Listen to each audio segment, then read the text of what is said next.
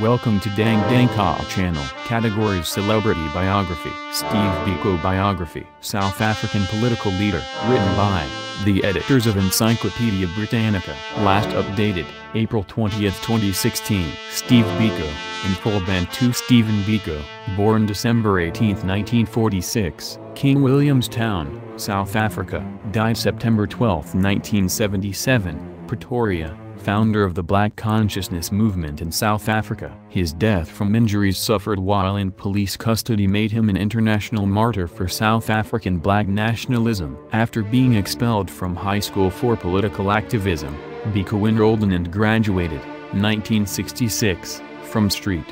Francis College, a liberal boarding school in Natal, and then entered the University of Natal Medical School. There he became involved in the multiracial National Union of South African Students, NUS, a moderate organization that had long espoused the rights of blacks. He soon grew disenchanted with NUS, believing that, instead of simply allowing blacks to participate in white South African society, the society itself needed to be restructured around the culture of the black majority. In 1968 he co-founded the All-Black South African Students Organization, SASO, and he became its first president the following year. SASO was based on the philosophy of black consciousness, which encouraged blacks to recognize their inherent dignity and self-worth. In the 1970s the black consciousness movement spread from university campuses into urban black communities throughout South Africa. In 1972 Biko was one of the founders of the Black People's Convention, an umbrella organization of black consciousness groups. Biko drew official censure in 1973, when he and other SASO members were banned, their associations, movements, and public statements were thereby restricted. He then operated covertly, establishing the Zimele Trust Fund in 1975 to help political prisoners and their families. He was arrested four times over the next two years and was held without trial for months at a time. On August 18, 1977, he and a fellow activist were seized at a roadblock and jailed in Port Elizabeth. Biko was found naked and shackled outside a hospital in Pretoria, 740 miles, 1,190 kilometers, away, on September 11 and died the next day of a massive brain hemorrhage. Police initially denied any maltreatment of Biko. It was determined later that he had probably been severely beaten while in custody but the officers involved were cleared of wrongdoing. In 1997 five former police officers confessed to having killed Biko and applied for amnesty to the Truth and Reconciliation Commission,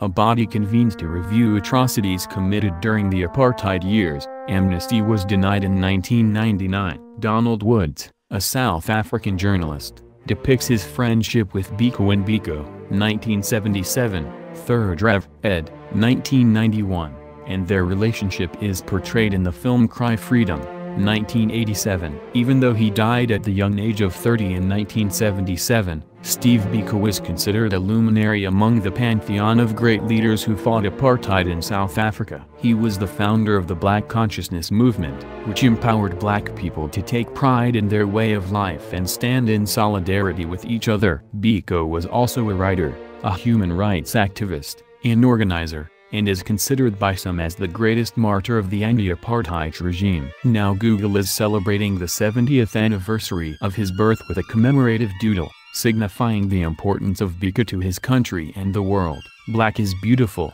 a note from Google on its website said. Steve Biko knew this fully well, and fought to spread this message across South Africa at the height of the apartheid movement in the 1960s and 1970s. Biko became engaged in the anti-apartheid movement while studying medicine at the University of Natal. He created the South African Students Organization and in 1968, became its first leader. After he was expelled from medical school in 1972, he started working full-time on the cause leading the government to restrict his movement and activities, to the point of prohibiting him from meeting more than one person at a time. Despite that, Biko continued with his activities including taking part in organizing the Soweto Uprising, where police opened fire on student protesters. The anti-apartheid icon died while in police custody in September 1977 after he was arrested in Port Elizabeth for interrogation and then taken to Pretoria for medical attention. Even though the police first claimed he died of a week-long hunger strike, they later said that Biko hit his head against a wall during a scuffle. Since his death, Biko's legacy has been the subject of numerous articles, books and a movie, Cry Freedom, starring Denzel Washington. The Steve Biko Foundation also carries on his vision, working with communities to promote greater self-reliance through education and training. The doodle from Google also joins those of African icons like Nelson Mandela and Nobel Prize winner Wangari Maathai, both of whom dedicated their lives to the pursuit of equality and justice.